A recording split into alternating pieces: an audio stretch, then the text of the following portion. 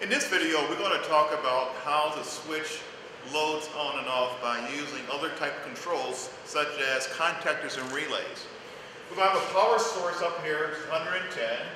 We will be using a transformer to, uh, to change the, uh, the voltage from 120 down to 24. But also we're going to be using a thermostat to, um, to cycle on and off the power.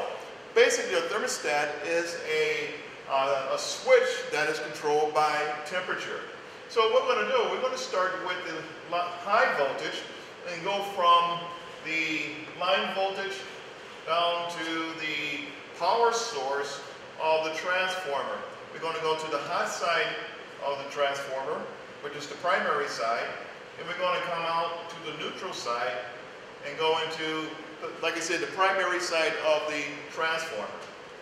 Then from that, we're going to wire and maybe this uh, light bulb here, the green light bulb, and they're going to be our load. Now to switch it on and off, this is what we call a fan center. This fan center has a transformer which goes from 120 volts down to 24 volts. Then it also has a relay and it's pre-wired on this fan center.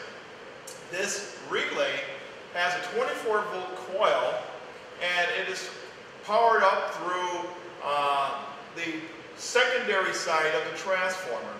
And basically then it would send power when it's energized uh, and send it, opening and close the switch inside of this relay and send it to the load.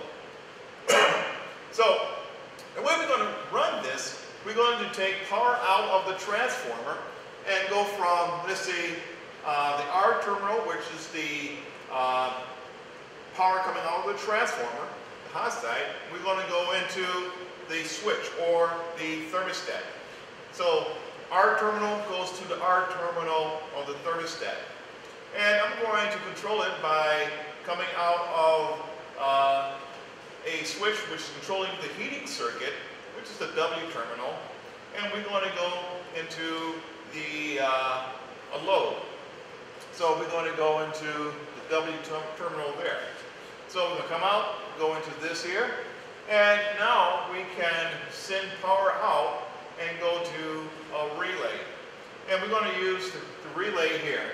We're going to come out of there and go to the thermostat, which is for the blower circuit. So now we're going to use that to control the line voltage, controlling the relay contacts. Relay contacts is controlling the, the blower side of this.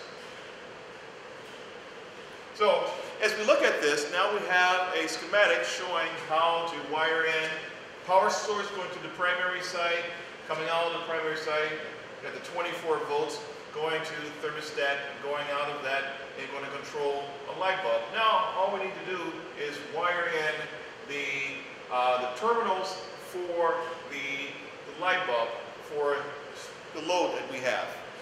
So in this case, we're going to go to the light bulb and we're going to uh, connect it to the common side, the normally um, open side. When it becomes energized, it will power it up. So we can go to the power source,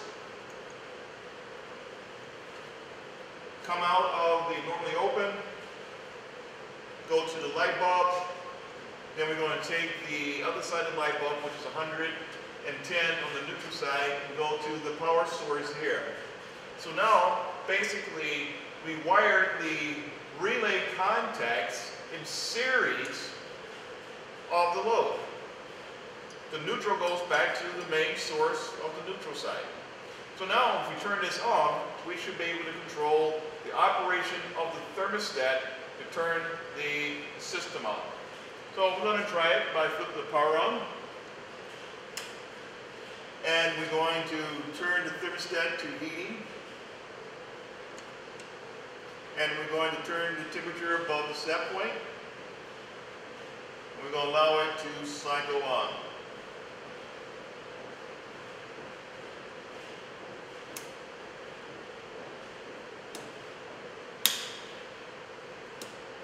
you hear the relay opening and closing.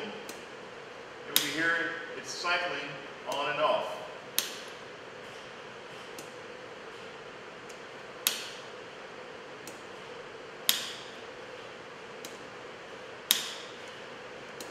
Okay, turn the power back off, and we show you how it operates.